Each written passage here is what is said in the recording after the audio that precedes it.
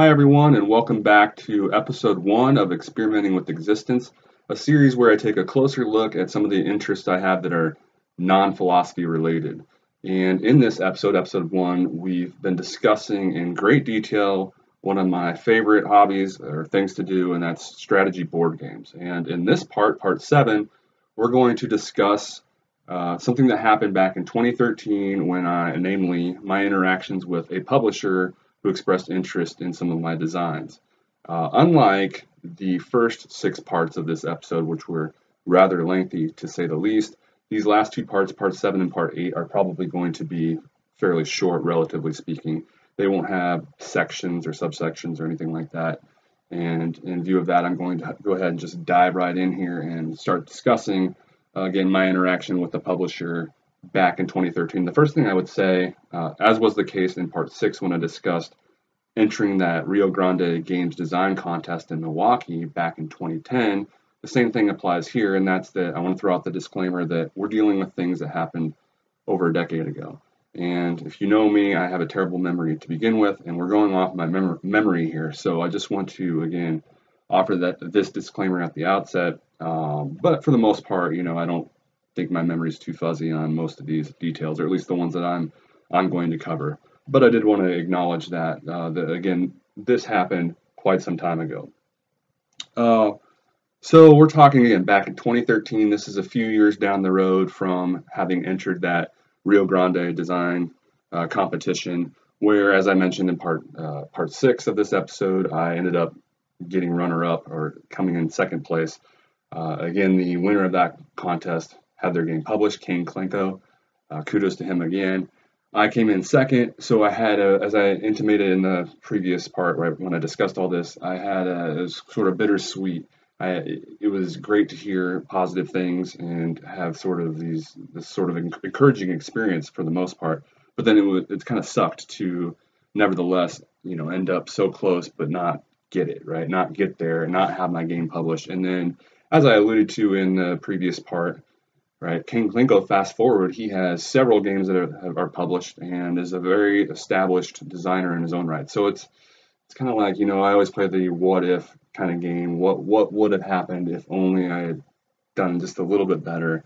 Uh, but anyway, so having gained sort of some, some confidence nonetheless from that experience, you know, we're moving then two years, three years down the road here to 2013 and my again my interactions with this publisher who expressed some interest in some of my designs. What I remember is initially, I oddly enough, it it began uh, with communications through LinkedIn. I can't remember who initially started it, whether it was so Matthew Duhan is the name of the I want to say CEO or owner of Gozer Games, and so this is uh, Gozer Games here. This is one of their games that I purchased uh, ended up owning.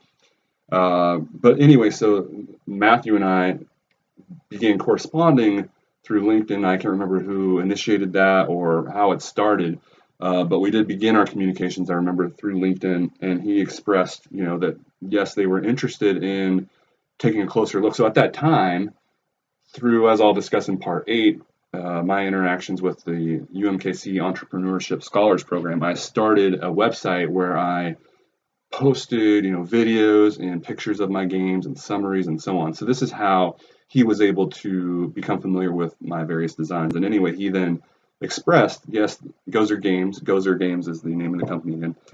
Gozer Games is interested in, you know, taking a closer look at some of these designs. Specifically, then he mentioned uh, three in particular. So you're again, you're going back to what I had designed up to that point, which was 2013 so he he expressed interest in Utopia number 10, which I haven't actually talked about yet in any of the previous parts of this episode. But these other two I have. Uh, I really rate this was the subject of uh, the last part of the episode, part six, American Numismatist. That was the game that was entered into the Milwaukee contest. And then Microbrewin', I did mention this in part five, where I detailed some of my better, more polished designs. So you're familiar if you've watched that uh, that part anyway or that video with microbrewin'. You're familiar with if you watch the previous part, right, part six with American Numismatist. The only new one here is Utopia. Now I did mention Sophia when going through my most polished designs in part five. And I mentioned Sophia now because Sophia, I think, is number 35 or something like that down the road. And it's it reminds me of Utopia. Utopia, you might think of as like the precursor of Sophia. There's a lot of similarities. They're both kind of civilization builders, if you will, but there are some significant, intriguing differences. We're not going to take a super close look at Utopia like we did my more uh, polished designs. Uh, but I will mention sort of some of the things that stand out with respect to Utopia versus Sophia, since again, they are pretty similar in terms of their overall theme, right? You're building kind of the civilization, but there are some, so they, they really remind me of, of one another, uh, especially in that respect. But there are some significant differences, so I'm going to cover those briefly here. For example, Utopia actually has like a board where remember in Sophia there's just cards that you're playing into your tableau. Everybody has their own private tableau. Well, in Utopia, there's actually a board on which you're placing your colored tokens that represent your country, uh, civilization, if you will. And at the beginning of the game, one cool thing about this game is that there can be all sorts of different boards with different layouts and so on. And then these things are randomized. How much prestige each area is worth if you, uh, I don't know the, the proper term, but if you dominate or control, control is probably the right word, control that ter territory, what the environment offers too. There's different sort of resources that each area is going to offer if you go there and uh, establish some presence. So there's this map element and this board element where you're actually placing troops and your presence, and then you're going to move those around, try to take certain ones over, and that's a significant way to then uh, earn points. And of course, that's not that was not the case in Sophia. But you'll see then there are some similarities here, right? Remember, there are certain things you could acquire via wealth in Sophia. Well, similarly, you can acquire certain things in a similar fashion here uh, with wealth and then research um, in this game. The other thing that I won't get into too many of the nuances here, but the other thing that kind of sticks out in my mind about this game that I really remember liking is the there's a kind of draft phase where this so there's a ton of different cards and a huge variety there that's similar to Sophia as well where there's different there's different categories and so on. And these cards are doing a whole slew of different things for you. Um, but what happens though is there's whoops um, the way you acquire them is via a draft mechanism so at the beginning of the round you're setting out a certain number of new cards uh, I think it's three times the number of players. And there's a first player, which rotates each round. And begin with the first player, there's that draft phase where you just uh, add another card from the draft, right? The, the, cards that were just drawn for that round. You add one of them, you, you draft it, and add it to your deck. And then everybody else does that as well three times. And then the interesting thing is, right after that, you take all your cards you have in your deck, shuffle them. So the ones you just acquired may show up right away or they may never show up. You never know, right? You're, you're building this deck over time uh, with all these unique, different sort of cards, and then you draw three in the next phase from that deck, which you in turn can then finance and you know you you uh, uh, earn a certain number or amount of money each round, and that's you can boost that.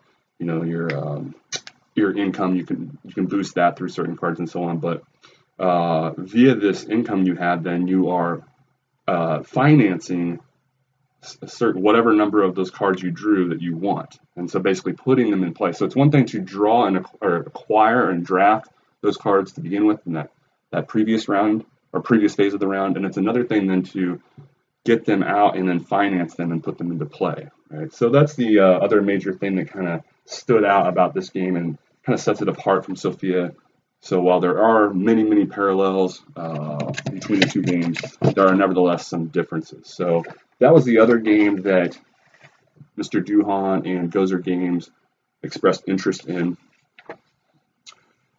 So, and in fact, Utopia, so that's this third one, you know, that's actually the one that I remember him offering the most feedback on. In fact, I can't remember him really us having discussions about either of the other two games. It was really, for the most part, Utopia. That's the one they they got to the table and had feedback on uh, at the point we stopped sort of corresponding, which I'll get to here in a moment. Um, mentioned LinkedIn, mentioned Mr. Duhan, who was my point of contact, if you will. Um, I also remember trying to so you know wow somebody's you know a publisher's interested, but it was you know so that's a great feeling. But then you know who is this company I hadn't necessarily heard of Gozer Games. So in the process of vetting you know this company and making sure everything was on the up and up and legit, I actually contacted one of their pre you know a designer who had published through them and I think it was Brian Lewis, the designer of this game, and uh, you know, sort of established, yeah, this is legit. I had a good experience and so on.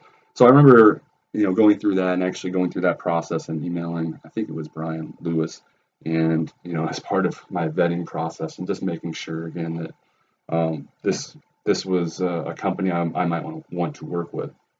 Um, I also remember. I think uh, again, this is kind of a, a thing all rookies go through. Uh, having at this point done my uh, you know a ton of research in terms of you know getting into the industry and so on, but this is a common rookie thing that rookies will wrestle with, and that's you know giving up your baby, so to speak, right? Sending out uh, this intellectual property that, that's yours, right? These these games that you've worked hard on with all the rules, you know exactly how to play, right? It's your top secret recipe, so to speak sending it out without really any clue what's going to happen, right? Without any real safeguards in place um, for the most part. Um, now you can sort of try to seek out when you deal with various publishers, you know, um, what's the right term? I don't remember the, you know, at the moment the, the, proper legal terms, but try to get them to basically agree that they won't disseminate it and so on.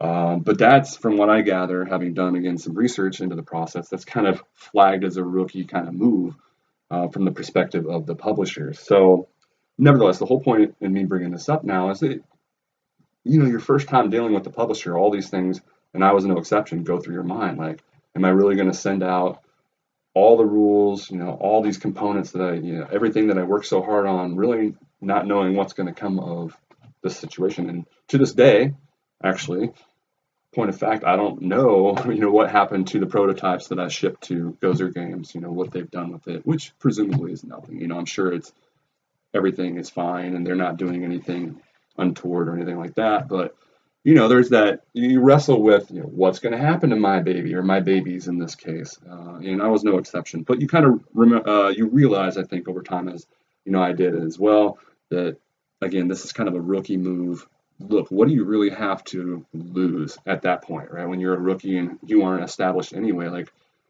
what's the worst that's going to come? Somebody steals your game, and you, if that did actually happen, which I, I don't personally even know of any instance where that happened. I mean, it was your game. Odds are you're gonna you're gonna have proof of that. Uh, you can fight the battle and so on. Um, that's the worst case scenario. And look, the other thing is if if if the game's any good, the publishers aren't to want to try to steal it and screw you over. They're to want to try to establish a good rapport with you, a good relationship with you, because presumably you're a good designer who, you know, uh, they might want to work with not only now but down the road. So it wouldn't behoove them to screw you over, so to speak, you know, from the from the outset. Um, but anyway, it's still, I think, so granted of that those those points, which I think um, win out nevertheless, there is that kind of uh, issue you deal with, especially when you have no reputation, so to speak. You have no connections in the industry, and you're you're getting established from the get go. Like, what happens if I really do have something here and somebody just steals it? Um, again, I wanted to acknowledge that that does go through your mind, but it didn't really, you know, it wasn't something that uh, concerned me too much anyway. And uh, again, because I'd done my fair fair share of research even back then at that point. So I ultimately end up shipping prototypes, and I, I have, uh, I definitely remember the night before. I had, a, I don't remember if he imposed a deadline. I doubt it, or if it was my own self-imposed deadline. But any, anyway, there was this certain date that I wanted to ship these games out by, and I just remember basically staying up the whole night before, getting everything perfect. You know, um, even fine-tuning the rules and and getting all the prototypes just right, and folding them up and these, you know, um, the mailing packages and so on. And, you know, of course, now fast forward, here's the philosophical side of me. It's like, what was all that effort? Look at all that time and energy and resources, and you know, where did it get me ultimately? You might say, um, even though you know I didn't get a published game out of it, that maybe it was all worth it for different reasons. But it's something I think about, right? Things that we invest so much time into, and, we if we screw something up, it's like the end of the, the world at that time. But fast forward a decade later, and it's like, what was I thinking? Like, it's not, it wasn't that big of a deal. Look what what came of it. Basically nothing. Anyway, um, where was I? Yeah, so I I I, uh, I ended up shipping these prototypes off, and um, you know, it, it, everything takes a while, and I think it, was, it wasn't just my specific um, dealings with this specific company, but that seems to be the case in the industry as a whole. Right, dealing with these publishers, they you, you are, you know, at this stage when they're playtesting your game, you're like way back down the line. They have all sorts of different games and and different stages of publication that they're also worrying about. So it's only one sort of branch or aspect of all these different things that they're worried about. Right. Um, so the whole, whole point being that no surprise, right?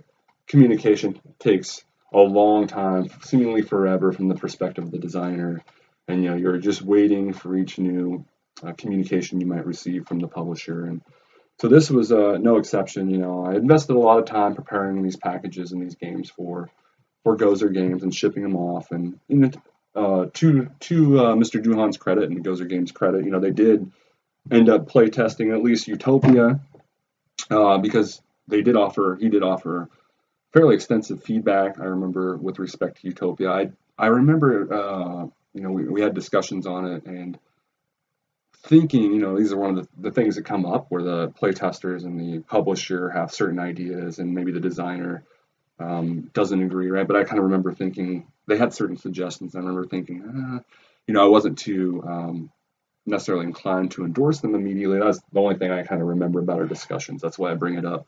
Not that it was a terror, what they suggested was terrible or anything like that. these are just the things I remember, the highlights from our discussion. Uh, and so again, we have these back and forth. Uh, he mentions how he was getting that to the table and so on. But what ended up happening over time uh, is that the communication became less and less frequent. It would, you know, be much longer in between phone calls and emails to the point where eventually I just kind of thought to myself, nothing's going to come of this. And I think what ultimately transpired, I, I never like verified this or substantiated this, but going back to, you can go online still to the website that they have for Gozer Games, and it's still up. Um, I checked it earlier today. But if you go there, what you'll notice is that like the dates of posts and updates and stuff, it seems to go back to like 2012, 2013 which was about the time again that I was having this correspondence. So about the time that our correspondence fizzled out, it seems like the company as a whole and the website and so on, well, the website's still there, right? But the company as a whole sort of fizzled out as well. So I don't know if that was the reason why ultimately our discussions came to a close. Um, you know, it makes sense if the, the publishers know more that, you know, individual discussions with particular designers are going to come to a close as well. I don't know if that was the case, but if you go again, you go to the website, you'll notice that it seems like that might be the case. Um, but for whatever reason, things just kind of fizzled out. And while I had a lot of enthusiasm and was super psyched at the beginning, just over time, right? Even when we were having our correspondence, it was just there was so much time in between that it just, you know, you you sort of start to lose interest, you know, the more time it takes, until the point where you realize, man, I'm I'm really not even corresponding with them anymore at all. Um, so it is what it is. It reminded me a lot of so sort of kind of thinking back on the experience as a whole. Um, it reminds me more or less of my experience with entering the Rio Grande design competition in 2010, which was the subject of part six. It reminds me a lot of that in the sense that there was a lot of good that I took away from it, but then it was also kind of bittersweet, right? There was kind of a a, dis- a sense of disappointment ultimately in the end because like it or not, despite all my hard hard work and all my effort and all that time I put in, lost sleep as I alluded to earlier, um, despite all of that, you know, nothing ends up coming to fruition. Now, who who knows? Maybe because of all these steps I've had to take and these trials and tribulations, right? Maybe my work and my designs in the process have become better and better somehow as a result of that. Who knows? but it's still certainly it was reminiscent, I think, um, of the con- design contest in 2010 in the sense that it was encouraging, but at the same time, a bit of a disappointment to not ultimately get a game published. So, uh, and you know, previewing then part eight, where I'll discuss my experience in the UMKC Entrepreneurship Scholars Program, I had the same sort of, ultimately the same sort of feelings result from that experience, right? A sense of uh, a lot of good, right? There were a lot of um, positive things to be gleaned from the experience, but as I'll discuss in the next part, it, nothing ultimately ended up coming from it, right? I still, while the aim was to ultimately get my games out there, um, to publish my games through that program, the idea was, as we'll see, to publish them independently, right? If I couldn't get them or for whatever reason didn't want to publish them through a major publisher, right? What, you know, the, that was going to be the process then, and that was sort of what that program was geared towards was helping me go that route. But ultimately, again, the point here is um, I had the same sort of feelings in the end, right? Where there was a lot of positive the positives that came from it, from the experience, from the program, um, from doing all the things that I did as a part of the program. But ultimately, in the end, right, a kind of sense of disappointment because ultimately there's no game published, right? Whether it's through a major publisher or independently, right, through uh, my own avenues. It is what it is, though, and man, the sim, I'm, I'm, ending on such a downer. I, I make it sound like, especially these last two parts, uh, you know, oh, there's this sense of disappointment. But you know, it's never easy. I think uh, there's a, for every successful designer out there, you probably have several that aren't successful, and for those that who, who are successful, they were probably you know many many failed attempts or at least for for many of them so it is what it is it's part of the process um, you know ultimately i'll revisit the my attempts to get something published but uh, you know i don't mean to make it out and end on such a sour note because again there was a lot of positives to be gleaned from interacting with this publisher and you know taking part of, in the umkc entrepreneurship scholars program so, having said that, let's go ahead then and move on to the final part of episode one here, part eight, where we'll discuss my experience again in that program.